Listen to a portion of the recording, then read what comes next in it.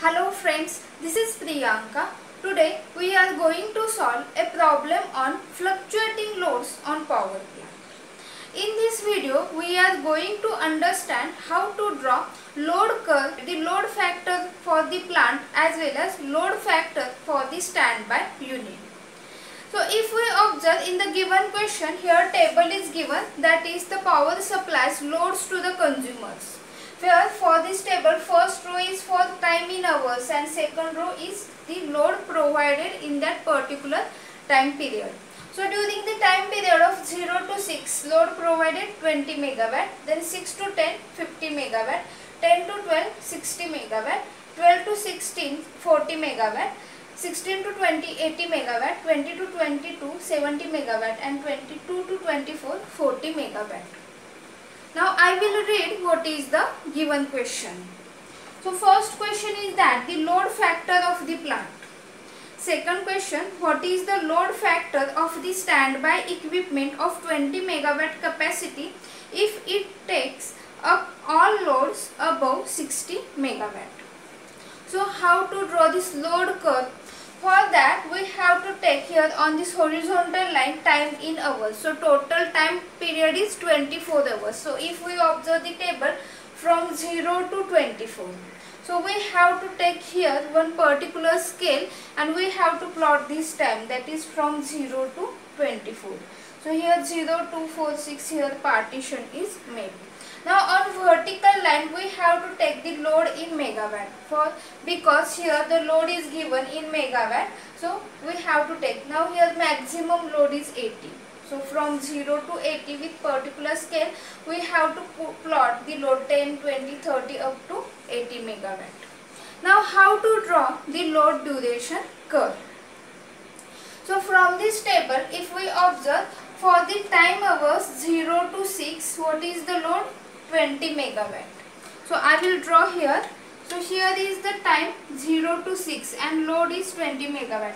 So I will draw here one horizontal line from this 20 megawatt. So here is 0 and we have to extend this line up to 6. So I will join this 6 from this 6 I will draw one vertical line. So here is the point of intersection. So this is the load that we have to show. Now for the next 6 to 10 that is time in between 6 to 10 so here is 10 what is the load? That is 50 so if we observe up to 50 we have to extend here one line. And here also for this 10 we have to extend the line up to 50 megawatt load. Now I will join these two lines. So if we observe for this time period of 6 to 10 load is 50 megawatt. Now 10 to 12 load is 60 megawatt. So 10 to 12 is here. So we have to extend this up to 60 megawatt. So here I will extend this. So from 60 megawatt we will draw one horizontal line. Then next is 12 to 16. So time is 12 to 16. So here is 16 and for 12 to 16 what is the load? Load is 40. So again for this 40 from this 40 we will mark here one point. So from 12 to 16 from 16 we will take here one vertical line and here is one horizontal line. Then 16 to 20. So for, for 16 to 20 what is the load? Load is 80. So from this 80 we have to take one or we have to extend one point that uh, that will be the here is the point. So 16 to 20 we have to take load that is equal to 80.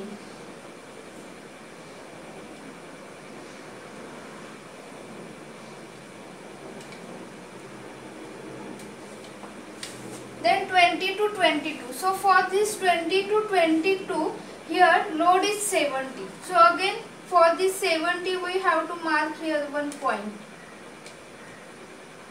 So here is the point for 70 so only for 20 to 22 we have to mark here one point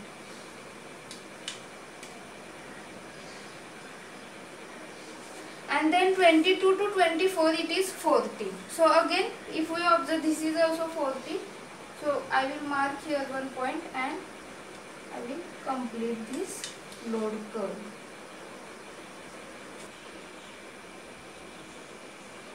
We will first calculate the load factor for the plant. So we will understand the formulas. How to calculate the load factor? That is average load by peak load and how to calculate the average load that is energy generated divided by the time period. So how to calculate this energy generated? So if we observe this load curve then the area under this load curve is nothing but the energy generated. So I will write for the plant that is energy generated for plant that is equal to area under the load curve. So this whole area that we have to calculate. So how to calculate? So if we observe here, we will first calculate area for this first rectangle. So this on this horizontal line, what is this total length? That is length is for 6 hours. And on vertical line, what is this total height? That is for 20 megawatt. So we can say that for area of this rectangle is nothing but 6 hours multiplied by 20 megawatt. So I will write here 20 multiplied by 6 plus we will add the area for this second rectangle. So if we observe this red line marker then here is also the second rectangle. This one side is 6 to 10 that is 6 to 10 that is 10 minus 6. 4 hours is this length and what is this height? So this height is 50 megawatt. So 50 multiplied by 4. plus again 10 to 12 so for this 10 to 12 that is only 2 hours. And what is the height? That is 60 so 2 multiplied by 60 plus. Then 12 to 16 so for this 12 to 16 this is 4 and here height is 40 so 4 multiplied by 40 plus again 16 to 20 so for 16 to 20 what is this number of hours? That is 4 and height is 80 plus 20 to 22 so here 2 multiplied by height is 70 plus 22 to 24 that is 2 multiplied by height is 40 so this is the total area under the curve. That is here are number of sections that we have to make and for each section we have to add the area. Now again we will calculate this. So 20 multiplied by 6 that is 120 plus 200 plus 6 multiplied by 2 that is 120 plus 160 plus 320 plus 140 plus 80. So if we add all this, we will get the answer 1140. And what is the unit? So unit is, this load is in megawatt, time is in hours. So I will say that megawatt hours. So this is the energy generated of the plant. Now we will calculate the average load. So I will write here that is average load is equal to. Average load is nothing but total energy generated by time period. So energy generated is 1140 divided by time period. Time period, what is the total time period? 0 to 24. So we have to refer this horizontal line. So answer is 47.5. So here uh, this time period hours unit is 24 hours. So this hours hours is getting cancelled and average load is 47.5 megawatt. Then we will move for the next that is the load factor. So how to calculate the load factor? So load factor is nothing but this average load divided by peak load. So average load is 47.5 divided by peak load. So if we observe peak load is 80. Peak load that is the highest load. So if we observe here the highest load is 80. So this unit is megawatt megawatt that is getting cancelled. And what is the answer? 0.594 so this is the it is having no unit because megawatt megawatt is getting cancelled. And this is the answer for first question. Now we will calculate load factor for standby unit. Here condition is given that the capacity for the standby unit is 20 megawatt and it above 60 megawatt. So we will highlight here the area that is the total uh, energy generated by the standby unit. So how to highlight? So we have to take the load above 60 megawatt. So here is 60 megawatt. So we have to highlight this area because this is the line with 60 megawatt load and its capacity is 20 so it takes load up to 60 plus 20 that is up to 80 megawatt. So here is 80 megawatt line. So in between this 60 megawatt and 80 megawatt we have to highlight this area. And this is the area that is by the for this standby unit. Now we will first calculate what is the energy generated by the standby unit.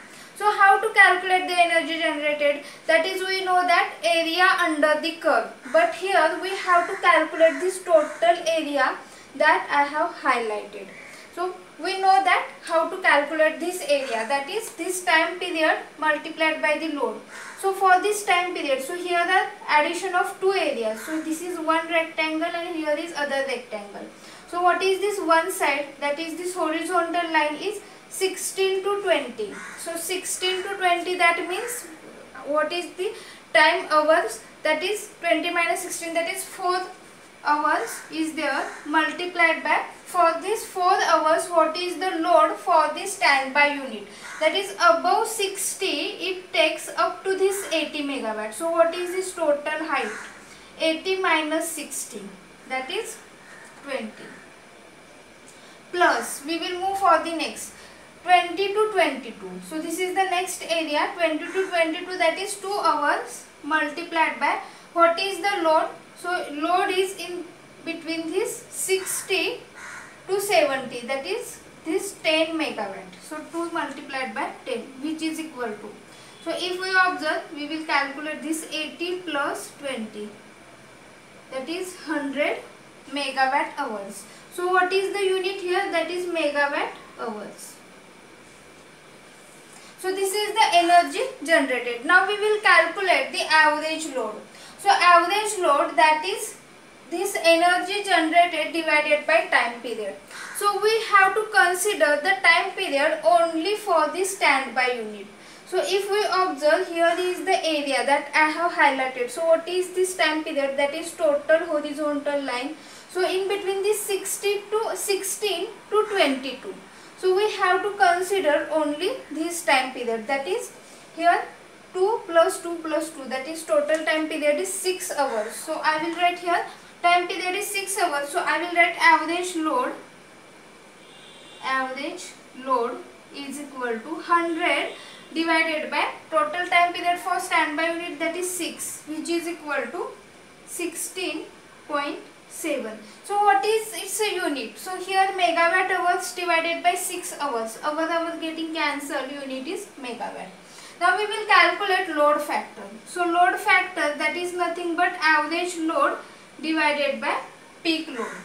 So this is also important point. Now load factor for this standby unit. So we have to consider the peak load related to the standby unit only. Here I will write first what is the average load that is 16.7 divided by peak load. So peak load that is the highest load. But here the base is at 60 megawatt and total height that is the total highest load that is taken up to 80 megawatt. But for the standby unit this vertical line is the peak load. So maximum load taken is 80 megawatt but it starts from the 60 megawatt. So 80 minus 60 that is 20. So we will write here 20 megawatt is the peak load. So 16.7 divided by 20 that is equal to 0.835. So here megawatt megawatt unit is getting cancelled and load factor is having no unit and answer is 0.835.